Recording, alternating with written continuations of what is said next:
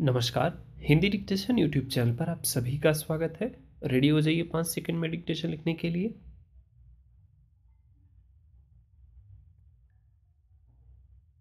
स्थानीय निकायों में आरक्षण को लेकर सरकार और न्यायपालिका के बीच खींचतान एक स्थायी समस्या बनती जा रही है। ताज़ा मामला देश के सबसे बड़े राज्य उत्तर प्रदेश का है। इलाहाबाद उच्च न्यायालय की लखनऊ बेंच ने बिना ओबीसी आरक्षण के चुनाव कराने का आदेश पारित कर दिया।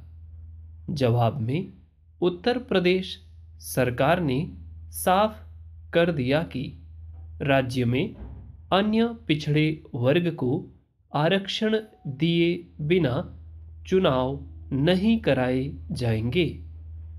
ज़रूरी हुआ तो राज्य सरकार सुप्रीम कोर्ट में भी अपील करेगी।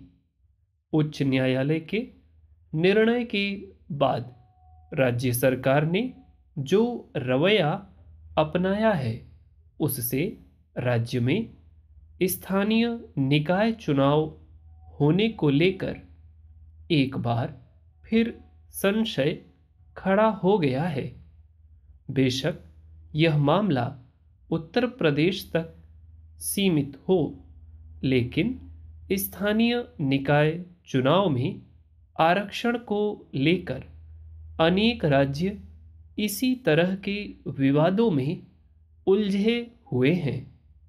उत्तर प्रदेश में स्थानीय निकायों का कार्यकाल पूरा होने को है, लेकिन लगता है कि अभी यह मामला अदालती लड़ाई में उलझा रहने वाला है। पैरा, देश की सबसे बड़ी महानगर पालिका मुंबई में फरवरी 2017 में चुनाव हुए थे। नियमों के अनुसार फरवरी 2022 में वहाँ चुनाव हो जाने चाहिए थे। पिछले तीन दशक में यह पहला मौका है जब मुंबई महानगर पालिका निर्वाचित जनप्रतिनिधियों की जगह प्रशासक द्वारा चलाई जा रही है। मुंबई में भी ओबीसी को आरक्षण दिए जाने को लेकर विवाद पैदा हुआ है। सवाल यह है कि देश के अनेक राज्यों में आरक्षण को लेकर टकराव क्यों है? क्या इसे लेकर नियमों में पारदर्शिता नहीं है? या फिर वोटों की राजनीति के कारण यह मुद्दा विवादों के घेरे में आता है।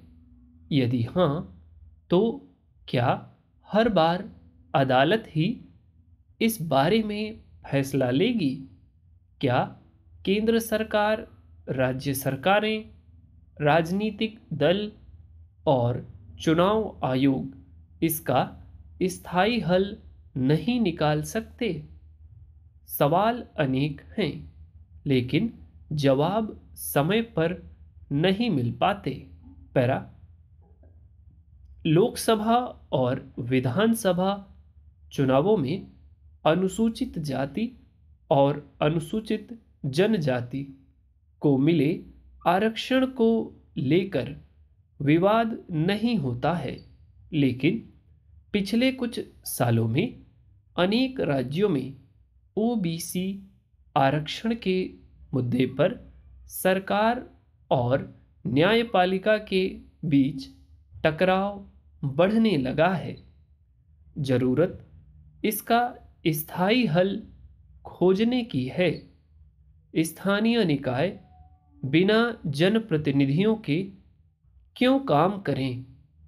स्थानीय निकायों का कार्यकाल पूरा होने तक भी ऐसे विवादों का हल क्यों नहीं निकल पाया? इसके लिए आखिर किसी की ज़िम्मेदारी तो तय की जानी चाहिए।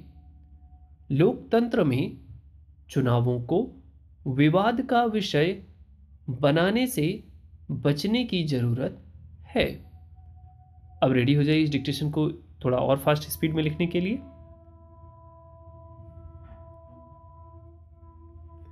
स्थानीय निकायों में आरक्षण को लेकर सरकार और न्यायपालिका के बीच खींचतान एक स्थायी समस्या बनती रही है। ताज़ा मामला देश के सबसे बड़े राज्य उत्तर प्रदेश का है। इलाहाबाद उच्च न्यायालय की लखनऊ बेंच ने बिना ओबीसी आरक्षण के चुनाव कराने का आदेश पारित कर दिया। जवाब में उत्तर प्रदेश सरकार ने साफ़ कर दिया कि राज्य में अन्य पिछड़े वर्ग को आरक्षण दिए बिना चुनाव नहीं कराए जाएँगे। ज़रूरी हुआ तो राज्य सरकार सुप्रीम कोर्ट में भी अपील करेगी।